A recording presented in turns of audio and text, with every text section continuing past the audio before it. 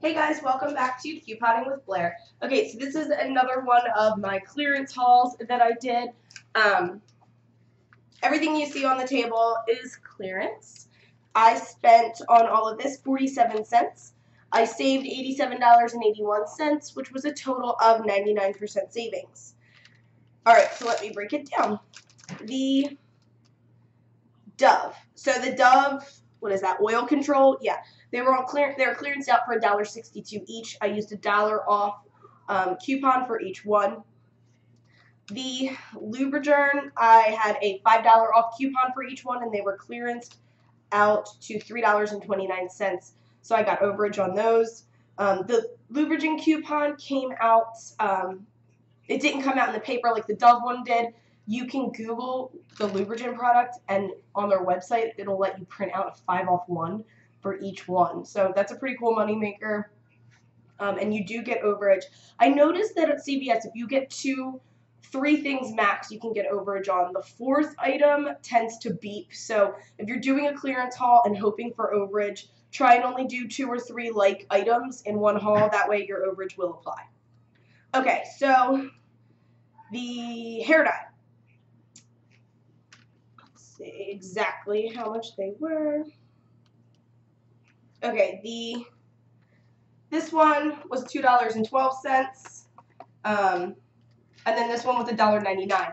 So what I did is I used one five off two coupon that I printed from coupons.com. I'm not sure if it's NLA now or not.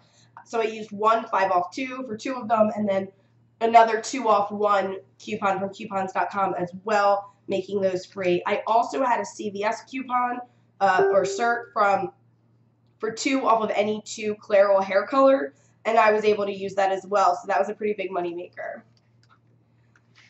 The Aveeno was clearanced to $2.07, which is a good deal. These are normally pretty expensive. And I used one one-off one coupon, so I paid $1.07 for it. Um, the hair ties right here were 75% off. They were a dollar.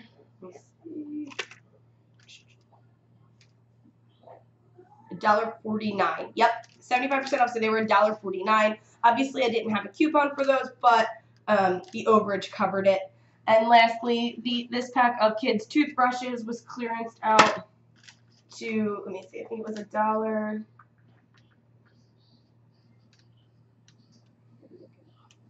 A dollar forty-nine as well. So the overage that I got from the hair dye coupons and the Lubrigyn covered the rest of my op, and also the extra, uh, the $2 cert that I had for the Clairol from CVS covered most of it too. So that's how I only spent 47 cents on all of this, and um, I was able to save $87.81. And also a lot of this is going to go towards my beauty rewards. Um, even though I paid nothing for it, I'm closer to getting my $5 in beauty bucks. All right, guys, if you have any questions about CVS, uh, don't hesitate to comment below, and don't forget to subscribe. Happy couponing. Bye.